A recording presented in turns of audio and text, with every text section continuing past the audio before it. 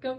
All right, so we do have technical difficulties. We're not going to be able to actually stream the service, but we are going to record it and then we will post it as soon as we've finished recording it. So look for it to be posted somewhere around noon or just after noon, and uh, that's the way it's going to have to be for this week. All right. Sorry for the inconvenience, and we're going to get it back uh, up and running again for next week. All right. Thank you guys. Bless you. Have an awesome week.